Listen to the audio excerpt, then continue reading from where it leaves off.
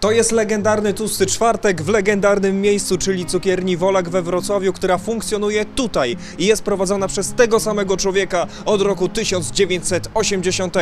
Pracują na pełnych obrotach, o czym świadczy chociażby ta kartka, że mamy dziś czynne nawet w nocy. Ten tłusty czwartek to jest skomplikowana sprawa, bo jeżeli mamy święta, to mamy piece, mamy to, wszystko stoi na miejscu, a na tłusty czwartek trzeba przemodelować cały zakład. Dwa tygodnie przygotowujemy się, później dwa tygodnie sprzątania, bo wszędzie tłuszcz w wentylatorach, wyciągach. Niektórzy by sobie nawet odpuścili, no ale po to jesteśmy, żeby zrobić. Wstyd nam, gdybyśmy nie zrobili. Poprosiliśmy legendę lokalnego cukiernictwa o wspomnienie. Mianowicie, jak wyglądał Tłusty Czwartek na przestrzeni dziesięcioleci. W latach 80.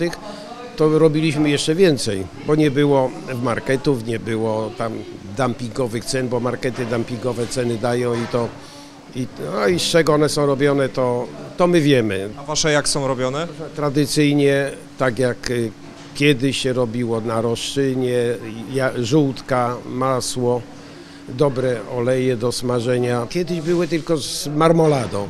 W tej chwili mamy u nas nadzienie jagodowe, nadzienie kiwi, y, nadzienie adwokat, y, ser, nadzienie różane, no i nadzienie truskawkowe. I oczywiście y, jakość tych nadzień jest o, znacznie, nie tylko znacznie, no, to nie ma co porównywać.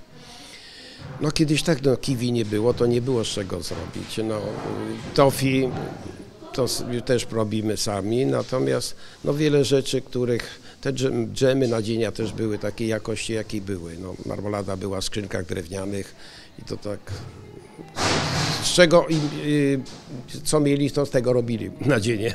Kupując pączki w Tłusty Czwartek, warto pamiętać, by wspierać lokalnych producentów. Dariusz Nowakowski, Wrocławskie Fakty.